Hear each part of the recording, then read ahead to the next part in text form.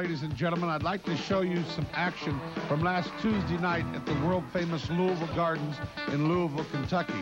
This was film taken from a fan's video camera, so obviously the quality isn't going to be what you're used to in MCW, but it's going to get the point across, and I'm so glad this fan had this camera here this night because at the Gardens last Tuesday night, you saw Wolfie D and Flash Flanagan collide with the Tennessee Volunteers. It was a great match. Uh, let me tell you, all over the place. It was just an unbelievable hard-fought match.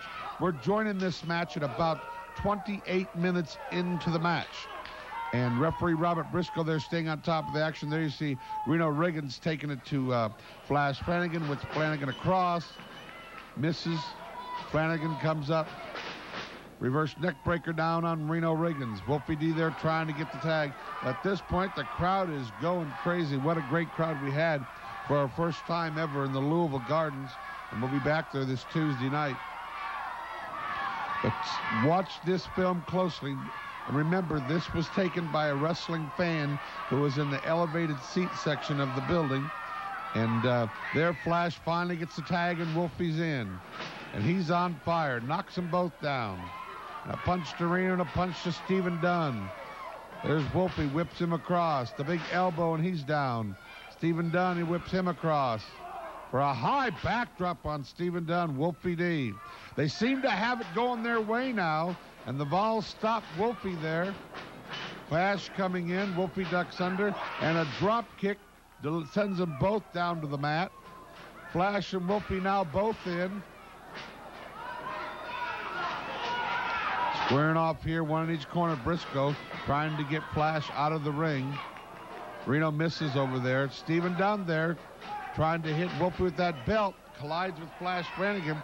So much going on, folks. Stay with me here. This is action from the Louisville Gardens. There you see Stephen finally hit Wolfie with that belt.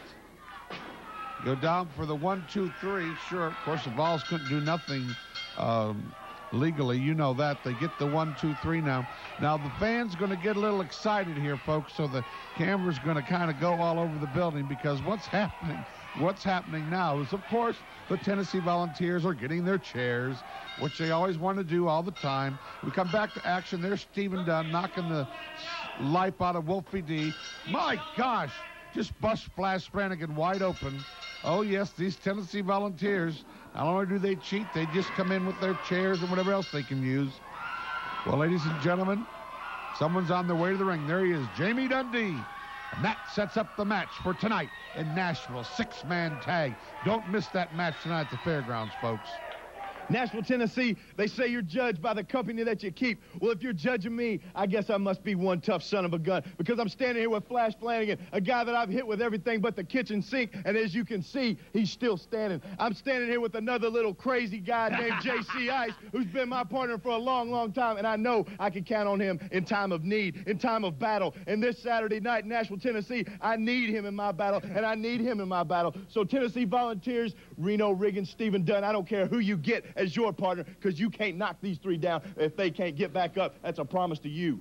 You people just saw a videotape. Stephen Dunn, if anyone knows me better than myself, it's you. And I don't understand why you guys didn't get the job done the first time. Because tonight, it's an eye for an eye and a tooth for a tooth. And you guys are going down.